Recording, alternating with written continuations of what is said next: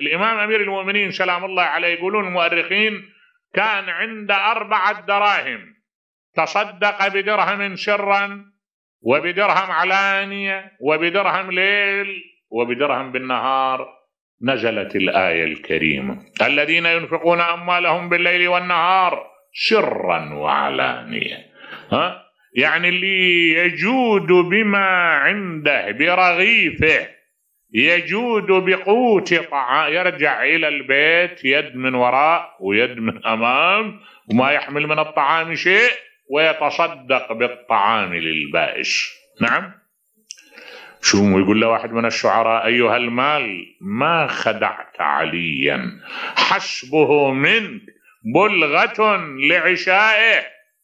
تصور هذا اللون من الكرم اللي ينتهي به إلى أن يجود برغيفه.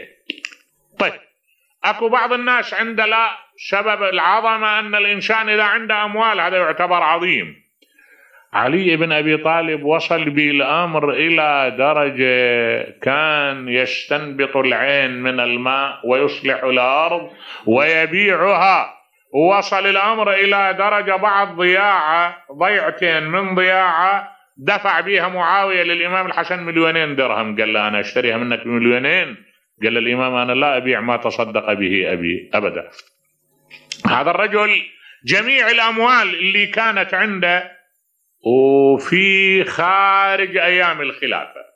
وفي أيام الخلافة انتهى الأمر إلى أن تكدس بين يديه تلول من الذهب والفضة. يصنفها بعود بيده ويقول يا صفراء يا بيضاء غري غيري أإلي تعرضت أم إلي تشوفت؟